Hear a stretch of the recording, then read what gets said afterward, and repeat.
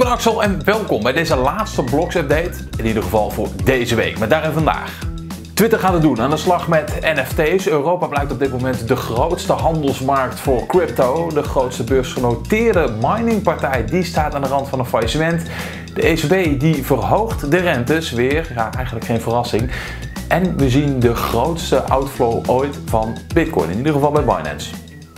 Bedrijf dat weer helemaal hot en happening is de laatste tijd. Ik heb het natuurlijk over Twitter, waar van alles gaande is. Waar ook natuurlijk Elon Musk weer van alles mee te maken heeft. En die combinatie zorgt eigenlijk voor dat er bijna per definitie ook wel weer links of rechts om crypto aan te pas komt. Zo ook in dit laatste bericht. Twitter gaat namelijk de NFT-handel aanbieden en dat ook nog eens op een vrij bijzondere manier, namelijk door middel van tweets waarin je direct uh, kunt kopen en gaan verkopen. Dat gaan ze in ieder geval in de basis aanbieden. Gaat er dan zo uitzien, een tweet kan daadwerkelijk een melding gaan bevatten van een bepaalde NFT-beurs of van een bepaalde NFT dus.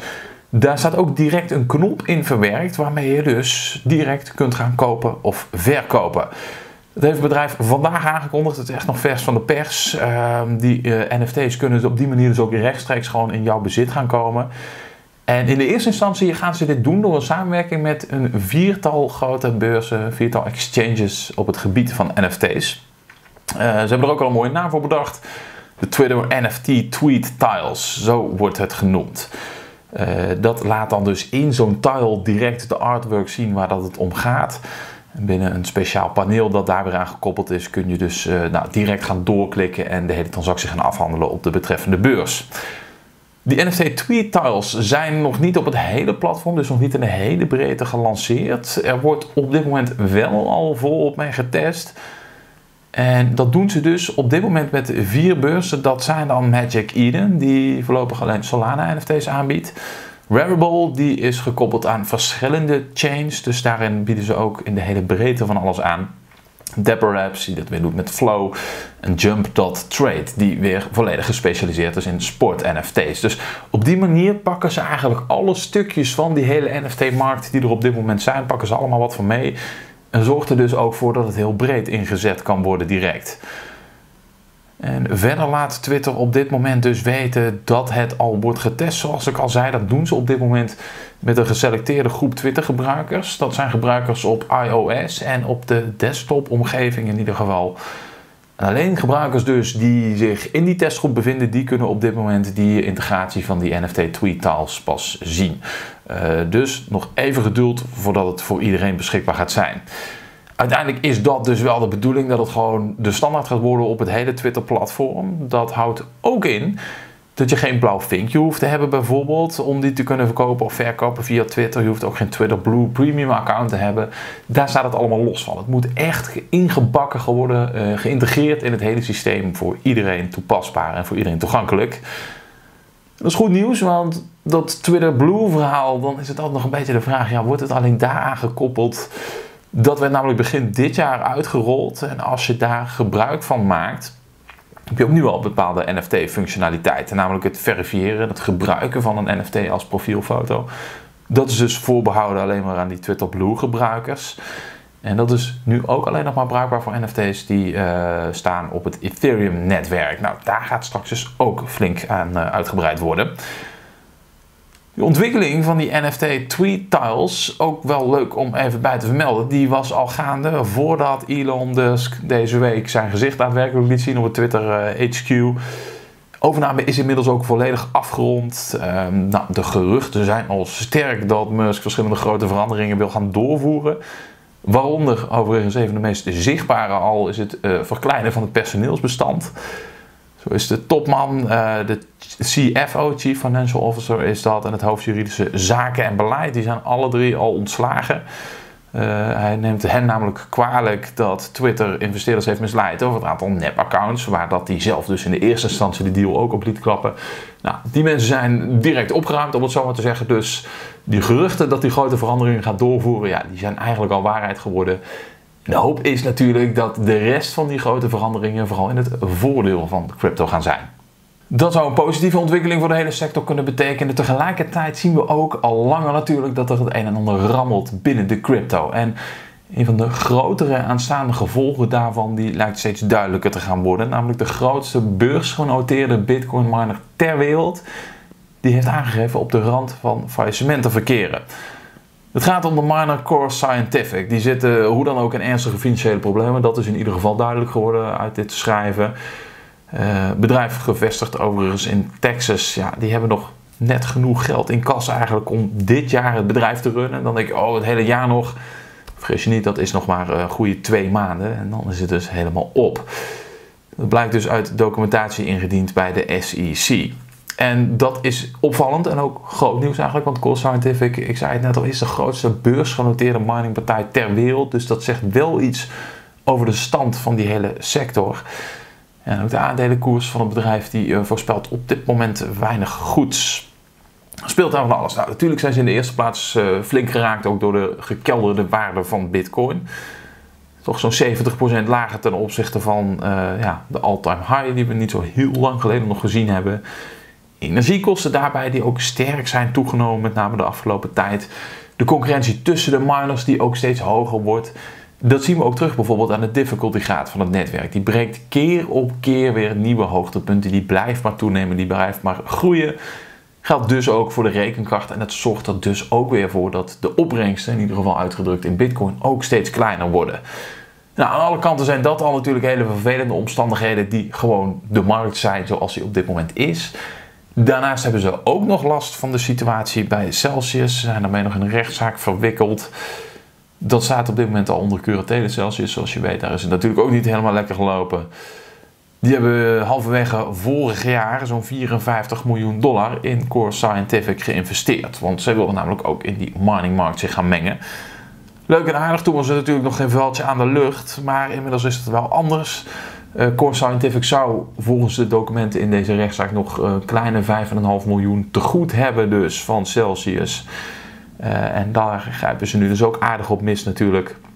Nou, Celsius ziet het anders, die zeggen dat ze niet aansprakelijk zijn. En ja, die zitten nu in zo'n Chapter 11 faillissementsprocedure. En daardoor maakt het inderdaad vrij ingewikkeld, want dat beschermt hen op dit moment ook tegen claims van schuldeisers. Dus Grote kans dat Core Scientific daar voorlopig in ieder geval ook naar kan fluiten. En de haast lijkt daarin juist redelijk hoog. Al die problemen bij elkaar zorgen er dus voor dat het eh, hier ook aan het randje van de afgrond staat. Er zijn wel reddingsplannen in de maak, er liggen er al een aantal op de plank, maar de grote vraag is dus, gaat dit nog op tijd komen? Gaat het nog op tijd uitgevoerd kunnen worden, met name ook? Daardoor lijkt een faillissementsprocedure dus aanstaande te zijn. Als we verder gaan kijken in de documenten, dan ga je ook inderdaad wel redelijk schrikbaar aan de cijfers zien. Zo lijkt het erop dat ze op dit moment nog slechts 24 bitcoin in kas hebben. Dat is wat er nog op de balans staat. That's it. Daarna is het dus op wat betreft de bitcoin voorraden. Terwijl we daar nog niet zo heel lang geleden, eerder dit jaar nog ruim 1050 bitcoin op de balans zagen staan. Nou, door dat hele reservepakket zijn ze dus al heen. Dat is volledig, of 24 bitcoin volledig doorheen gejaagd dan wordt het inderdaad wel een penibele situatie. Ook de aandelenkoers, die staat 70, misschien 80 procent. Het is in ieder geval extreem veel op dit moment, ook in de min. Dus voor Core Scientific hangt de toekomst nu echt aan een zijde draadje. Er is dus veel gaande in de markt, ook wat betreft verschuivingen en veranderingen. En dat zien we ook heel goed terug in het laatste rapport van Chainalysis. Dat is het Chainalysis 2022 Geography of Currency Report, waarin ze dus gaan kijken naar de toestand, de verdeling eigenlijk wereldwijd uh, van de hele cryptomarkt. Hoe ziet dat er nu uit? Dan blijkt het volgende opvallende uit dat Europa op dit moment de grootste cryptomarkt ter wereld vertegenwoordigt. Uh, Centraal Noord- en West-Europa hebben dus de grootste crypto-economie als we dat af gaan zetten tegen de rest van de wereld. In de periode juli 2021 tot en met juni 2022, dat hele jaar dus eigenlijk gaan bekijken, dan hebben de gebruikers en financiële instellingen enorme bedragen verstuurd. Meer dus dan waar dan ook ter wereld. En ook Nederland staat binnen die lijst weer vrij hoog. Namelijk op positie 4. Totale transactievolume dat dus Nederland toe te schrijven valt ligt rond de 105 miljard dollar. Er slechts drie landen die dat beter doen. Dat zijn dan de UK, Duitsland en Frankrijk. Die doen het wat betreft die volumes dus nog wat beter dan Nederland. En daarna zijn wij aan de beurt.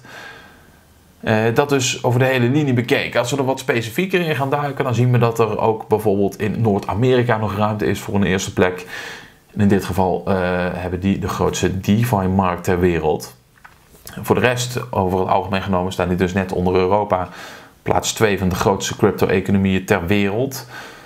over diezelfde periode, juli 2021 tot en met uh, juni 2022, ja, was de DeFi-sector specifiek dus goed voor zo'n 37% van alle Noord-Amerikaanse crypto-transacties. Dus echt een behoorlijk gedeelte van alles wat daar gebeurt, vond toen dus plaats in die sector. Was toen booming, is nu weer even wat minder interessant. Geldt natuurlijk voor de hele crypto, uh, wat activiteit betreft in ieder geval. Maar daarin lopen zij dus wel weer voorop snelst groeiende regio's, ja, dat zijn dan juist weer alles wat daar buiten valt zo'n beetje. Namelijk het Midden-Oosten en Noord-Afrika. Eh, die hebben ook over diezelfde periode van een jaar dus de grootste groei gezien. Waarom? Ja, uh, laat zich raden. Waarschijnlijk door de hoge inflaties die we daar zien bij de traditionele valuta's die ze daar kennen. De onzekerheid, nou, alles uh, bij elkaar op een hoopje geveegd zorgt er dus voor dat daar de adoptie juist heel erg hoog is wordt daar ook echt steeds meer gezien en ingezet als een hedge tegen inflatie. Natuurlijk, uh, hoe het hier ook vaak wordt uitgesproken, wat het goed voor zou kunnen lenen, wat goed voor kan dienen. En in die plekken zien we dat dat ook daadwerkelijk al aan de hand is. Als we kijken naar dus die landen waar crypto dit jaar populairst was, dan zien we wat dat betreft Vietnam bovenaan staan, daarna de Filipijnen en daarna Oekraïne. Nederland staat wat dat betreft op plaats 39 van de lijst. En de hekkensluiter van het hele verhaal is Afghanistan. Daar lijken ze nog helemaal niet geïnteresseerd te zijn in crypto op dit moment. De laatste data van CryptoQuant laat ook nog een andere bijzondere ontwikkeling zien in de hele crypto sector, namelijk de uitflow van Bitcoin. Vanuit verschillende centrale exchanges bedoel ik dan. Dus daar verdwijnt veel Bitcoin van af. Nou, dat zorgt over het algemeen natuurlijk een beetje kort door de bocht, maar waar het wel vaak op neerkomt voor minder verkoopdruk. Er staat simpelweg minder bitcoin klaar om eventueel verkocht te worden op de beurzen. Wordt er afgehaald en dan wordt ook over het algemeen aangenomen dat dat bijvoorbeeld op cold storage wordt gezet. Dus meer voor de lange termijn opslag.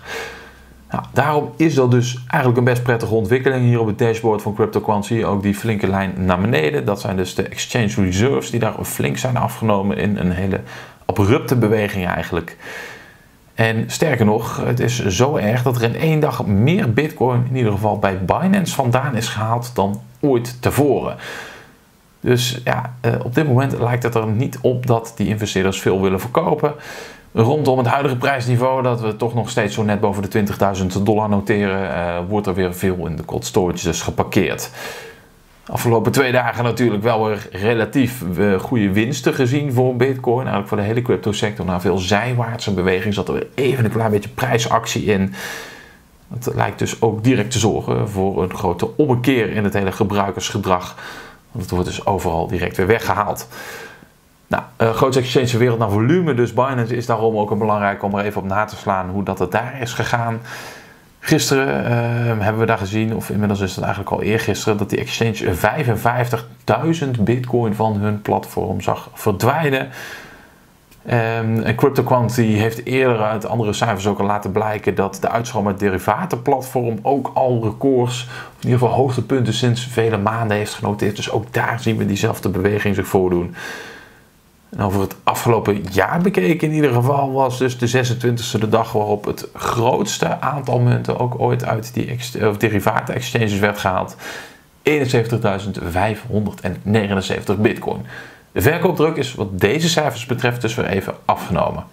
Van de afnames weer direct door naar de toenames. En in dit geval uh, de ECB. Die heeft namelijk gisteren toch weer de rentes verhoogd. Nou, dat lag ook helemaal in de lijn der verwachting verwachting was ook dat dat weer zou gaan gebeuren met 0,75 uh, procentpunt.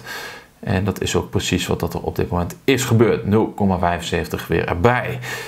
Is daarmee de derde verhoging, ook in een relatief korte tijd. Het gaat allemaal heel erg rap omhoog dus, in ieder geval die rente. Uh, juli deden ze dat al, september deden ze dat al en nu dus weer die 0,75% erbij. Nog steeds is dit om die inflatie in te dammen. Aan die strategie is dus op dit moment nog helemaal niets veranderd. Ook niet gek, want de inflatie is simpelweg nog steeds torenhoog. Uh, de rente staat inmiddels op zo'n anderhalf procent, dus door deze laatste verhoging. En tot juni dit jaar heeft dat de acht jaar daarvoor een negatieve rente genoteerd. Dus daar is echt een grote verandering in gaande in hele korte tijd. Na acht jaar dus negatief zit in een paar maanden tijd in één klap weer naar anderhalf procent verhoogd. En dit zou uiteindelijk dus genoeg impact moeten gaan hebben op de economie. Of er zou eventueel zelfs nog een verhoging aan kunnen zitten te komen. Maar dat zou dan hopelijk genoeg impact moeten gaan hebben om uh, die inflatie weer een beetje te temperen. En een van de belangrijkste bewegingen die daarvoor nodig zijn, zijn bijvoorbeeld het weer herinvoeren van spaarrentes. En gelukkig zien we dat de grootste banken dat nu ook weer gaan doen. ING, Rabobank bijvoorbeeld, uh, nou, die hebben dus door deze renteverhoging ook weer de ruimte om rente te bieden aan mensen die geld parkeren bij deze banken. Uh, dat zorgt er ook voor dat het weer wat interessanter gaat worden. Dat er misschien wel weer, uh, voor Bitcoin zou het nadelig kunnen zijn natuurlijk voor alle financiële markten, minder in hogere risicoproducten gestopt gaat worden. Langzaam maar zeker weer iets meer geparkeerd bij de banken, omdat er ook weer rente op te verdienen valt. Heeft dus ook het gevolg dat er weer minder uitgegeven gaat worden. En dat zou uiteindelijk dan die inflatie een beetje moeten kunnen gaan drukken. Ook al is het met die rentestanden in ieder geval op die bankrekeningen nog steeds ja, niet echt om over naar huis te schrijven, maar het is in ieder geval niet meer negatief. En de banken die ik net noemde, die noteren dan weer een uh, plusje van 0,25% aan spaarrente bijvoorbeeld. Mogelijk dus dat er nog een verhoging aan zit te komen. Uh, dat is afhankelijk van de beweging van die inflatie. Maar ja, die laat op dit moment nog niet heel veel goed zien. September noteren we in Nederland ook gewoon maar eventjes 14,5% inflatie ten opzichte van een jaar eerder. Nog steeds mijlenver verwijderd dus van die 2% waar dat de ECB op inzet. En wat betekent dit dan weer allemaal voor Bitcoin? Ga ik je nu laten zien in de koersen. Koersen op tradingview.com. De laatste keer voor deze week in ieder geval dat we die erop na gaan slaan. Dus goed opletten, want het is belangrijk.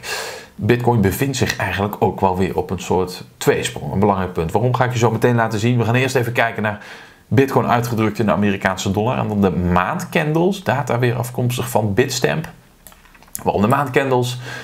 Ja, we zitten alweer aan het einde van dit exemplaar. Dan is het alvast leuk om een beetje voor te gaan sorteren op hoe gaan we dit exemplaar misschien wel afsluiten. Nou, dat is voor nu nog helemaal niet verkeerd. We noteren een plus van 4,84% op maandniveau. Dus dat is tot nu toe heel oktober, nog een paar dagen te gaan. Daarmee zitten we nog steeds rondom dit handelsgebied van die 20.000 dollar. Zitten er ook, zoals je al een beetje kunt gaan zien, niet meer boven. Dus top is er alweer een beetje vanaf. Heeft mogelijk dus te maken met dit soort aankondigingen wat betreft die renteverhoging. Weer wat de versterking misschien wel van de dollar inmiddels weer. Zorgt ervoor dat Bitcoin daar weer een klein beetje last van heeft. Daardoor zijn we dus wat teruggedrukt. Maar op maandniveau nog steeds een mooie plus. Op weekniveau ja, zien we precies datzelfde. Een mooie plus, 4,13%. Groot gedeelte van de maandgroei dus, die we ook in deze week hebben behaald. Heeft alles te maken met het feit dat we tot gisteren nog dus boven deze handelszone uit waren gekomen. Dat was lang geleden. Zeker op een duurzame manier. Het was kortstondig af en toe dat we hier even naar de bovenkant een poging deden. Deze lijn gooide lang roet in het eten. Nou, die is ook sinds deze week dus overwonnen, deze resistance lijn. En dat zorgt ervoor een mooi nieuw prijsniveau. Zelfs even een goed tientje boven de 21.000 dollar in ieder geval hier op Bitstamp gehandeld. Was van korte duur, maar het was wel weer lang geleden. En dat gebeurde hier was ook eergisteren overigens dat we dus 21.012 dollar hier noteren. Maar ook gaan we hier toch, blijkt nu helaas weer zien, twee dagen. Hele mooie groei. Komen boven dit belangrijke niveau uit. En dan zakken we weer terug, toch weer in dit niveau. De hoop was natuurlijk dat we hier echt boven konden gaan blijven. Dat we dit hele handelsgebied eindelijk weer eens definitief wel achter ons konden gaan laten. Door konden gaan stoten naar niveaus tot uiteindelijk misschien die 25.000 dollar aan toe. De top dus van deze resistance lijn die hier werd genoteerd. Nou, dat was nog iets te vroeg gejuicht, blijkt dan toch weer, want we gaan weer een soort beweging zien zoals hier. Twee hele sterke dagen komen hier dan wel terug in dit niveau. Nou, dat waren we hier al wat eerder. En daarna gaat die versnelling er weer een beetje uit. Dat is ook wat dat we in ieder geval gisteren hebben gezien. En vandaag blijven we wel weer een beetje rond dat niveau hangen. Zijn wat verder teruggezakt. Laagtepunt nog namelijk slechts 8 dollar boven de 20.000. We waren dus bijna weer terug daaronder. Dat weten we weer een beetje goed te maken. Hemmertje dus die we hier gevormd gaan zien worden. Maar doorzetten doet het nog niet.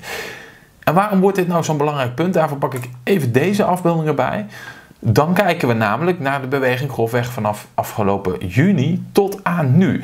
Dat gaan we leggen naar dezelfde soortige periode in de beermarkt van 2018. Daar gaan we namelijk een hoop percentages zien die aardig op elkaar lijken eerste instantie hier dus een groei van dieptepunt tot hoogtepunt van nu zo'n 43%. Dat was in 2018 ja, ietsje meer, zo'n 47%, maar wel erg vergelijkbaar. Terugval, daarna weer een mooie piek omhoog, 22%. Was hier uh, ook zoiets. Um, maar ook weer, ja, gaan we daar tegen een nieuwe resistance aanlopen. Dus eigenlijk weer een lower high die we daar gaan noteren. We gaan nog een keer zo'n beweging zien en hier dan de vierde keer. En in 2018, ja, je ziet het hier heel goed, het lijkt echt heel erg op elkaar. Hebben we daarna dus gezien dat we hier toch tegen die piek eigenlijk aanlopen. Dat je hier ook een lijn overheen kan gaan trekken. Die blijkt dan te sterk, komen we even boven terecht. En dan donderen we echt weer hard naar beneden. En als we dus diezelfde beweging hier zouden gaan zien, na dus deze vierde kleine piekperiode, die ook zeer vergelijkbaar is, nu zo'n 12%, toen zo'n 11%, iets meer. We zouden dit uh, weer gaan herhalen, natuurlijk absoluut geen garantie, maar even om het erbij te pakken hoe dat het toen is afgelopen, zou dat nu dus een terugval kunnen gaan betekenen naar die gevreesde 12 tot 14.000 dollar zone, die volgende grote support. En dat zou dan ook heel erg lijken op de beweging die we bijvoorbeeld hier hebben gezien na het eigenlijk definitief verliezen van die 30.000 dollar supportzone, knallen we terug naar de volgende op de 20. En dat zou nu dus betekenen, als we dat weer gaan zien, richting dit niveau, de volgende. En dat zou dan die grote rode lijn naar beneden kunnen gaan vormen. Daarom dus des te meer aangelegen om hier toch echt bovenuit te gaan komen uit deze gevarenzone. We hebben nu natuurlijk wel de support hiervan, ook nog op dit moment van deze lijn. En van de zone zelf, waar dat we gewoon nog in zitten. In ieder geval niet meer onder zoals hier de afgelopen weken. Maar gekeken naar 2018 worden de tijden er zeker niet minder spannend om. Dan is het nu officieel zover. Het weekend is aangebroken. Laatste weekend ook weer voor deze maand. Vanaf volgende week ben ik er gewoon weer iedere werkdag voor je. Met daarin een verse en spiksplinter nieuwe blogs update. Gaan we natuurlijk iedere keer weer kijken naar de allerlaatste nieuwtjes en gebeurtenissen in de crypto en de economie. Ik hoop je na een hopelijk prachtig weekend dan ook gewoon weer terug te zien. Like, subscribe en laat even een commentje achter als je daar nog tijd en energie voor hebt. Wens ik je een prachtig weekend en dan spreek ik je maandag gewoon weer hier. Tot dan! Doeg!